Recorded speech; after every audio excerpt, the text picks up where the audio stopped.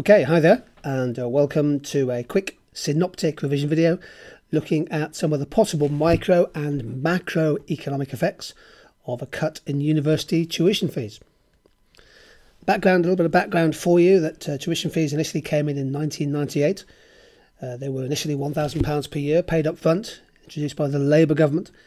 They increased to £3,000 in 2006 and a system of variable deferred fees and tuition loans student loans was introduced. The big change was, of course, in 2012 when the tuition fee cap was raised to £9,000 per year.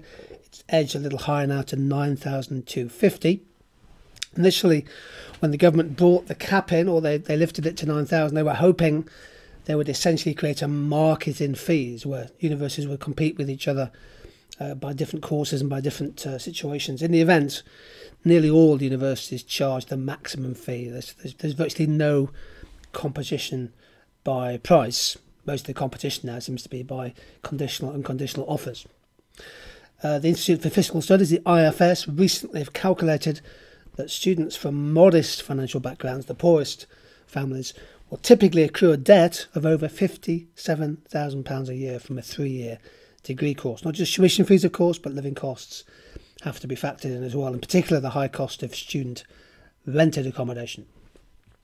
So, in a synoptic question, you just have to think micro and think macro. You have to make that little dividing line between it. So, what could be some of the micro and macro effects of cutting tuition fees? Let's say the Augar report suggesting they should cut them to £7,000 a year or something, uh, quite a significant cut. Well, one is the impact on the individual choice about whether or not to go to university. The individual student thinking about their own costs and benefits, the internal costs and benefits.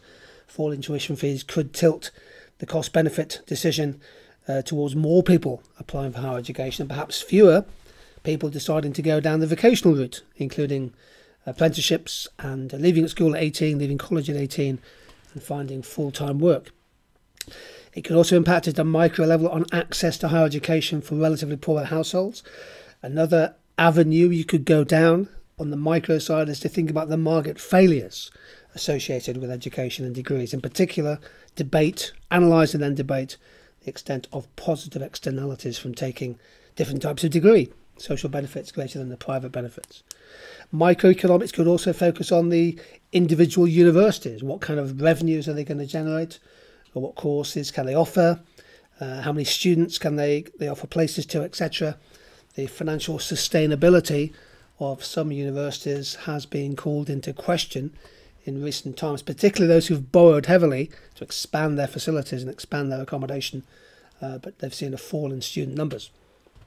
When you're talking about the macroeconomic effects, of course, you try to broaden the whole debate out to think about big macro things, you know, jobs, competitiveness, all that kind of stuff.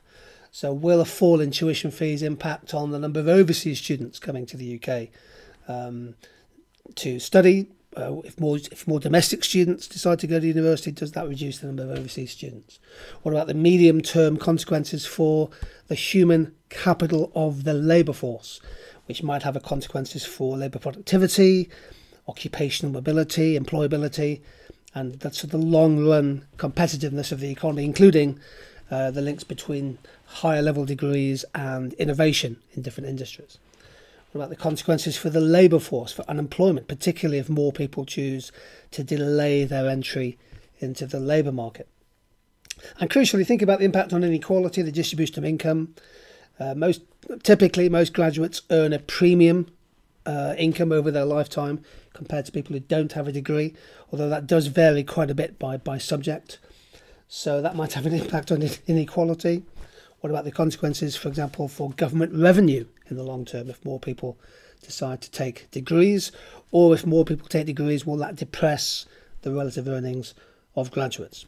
Either way, you just need to think micro, think macro. It's just the key part of this exam is to have something to say on the micro side and something valid to discuss on the macro side. A little bit of data here. Uh, the average student debt over £50,000 now, but typically £57,000 for poor students, particularly after the grants were cut. Uh, of course, th this idea of you, you pay back your student debt once in work And in reality, what you repay each year and in total depends on what you earn after university. So, what kind of job you get. Typically, at the moment, you pay 9% of any earnings over £25,700 a year, I think, for 30 years. And if the debt isn't repaid by that point, the debt is written off. So, really quite important to think about the long term consequences.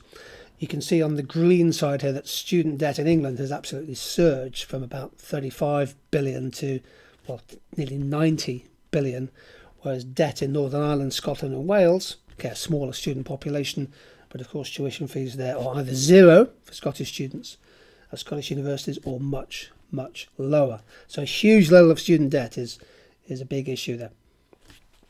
How do you evaluate some of the points? You've got some micro points, you've got some macro arguments. Uh, well, lots of it, it depends on kind of things. There's a possible fall in university fee income if you go from 9,250 to let's say 7,250. So that might reduce the amount of money, the budget available to fund teaching and research. Universities might try to recover some of the revenues by increasing the rents they charge on, on their own student accommodation. There could actually be a shift away from domestic student course availability towards accepting more students from non-EU countries uh, who, who typically pay much higher overseas fees. Some universities may decide that if you cut tuition fees, that's the moment for them to become independent. I think the University of Buckingham is a good example there. So they might decide to become independent of government finance and seek external funding, for example, through a long term bond issue. Another way universities could respond to this is by cutting costs elsewhere. They might they might ditch some of the higher cost courses deemed to be un- uneconomic. They may cut back in areas such as libraries, student counselling, student sports, etc., which can have consequences for well-being. A lot depends on uh, if you cut tuition fees. A lot depends on how a reform system also is reformed in other ways. For example, the Auger report is suggesting that the maintenance grants should come back for students. I think £3,000 a year maintenance grants for all students on relatively low incomes. And the other big issue is to do with relative uh, relative gainers and losers from cutting tuition fees.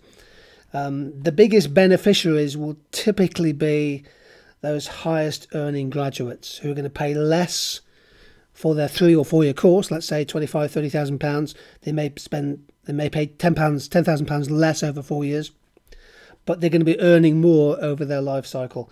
Economics, medicine, law, finance, those kind of areas typically are high paid, relatively high paid graduate jobs. So if you cut tuition fees, those people will gain because they have less debt and they'll repay it more quickly anyway because of the earnings. So big debates about uh, uh, about progressivity and regressivity if you decide to cut tuition fees. Topical issue, it has micro and macro implications and certainly worth thinking about as, a, as preparation for the exam.